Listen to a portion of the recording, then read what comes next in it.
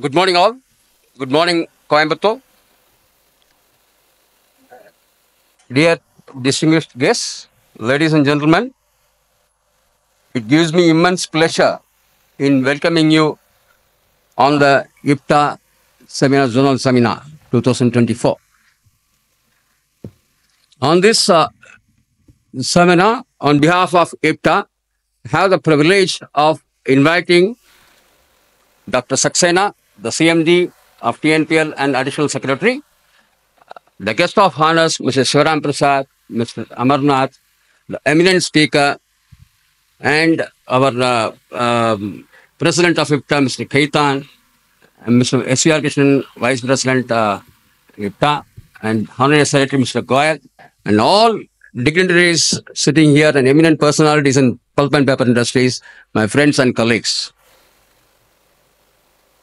I don't want to take much of time, but the thing is that on this seminar, this seminar is a, a great platform for the industry experts, researchers, and professionals to come together and share their knowledge and experience on the latest advancements in the pulp and paper industry.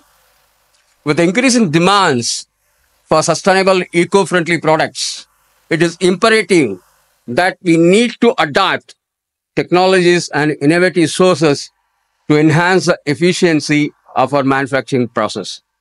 Because on the pulp and paper industry, the efficiency plays a vital role and the innovation plays a vital role and keep on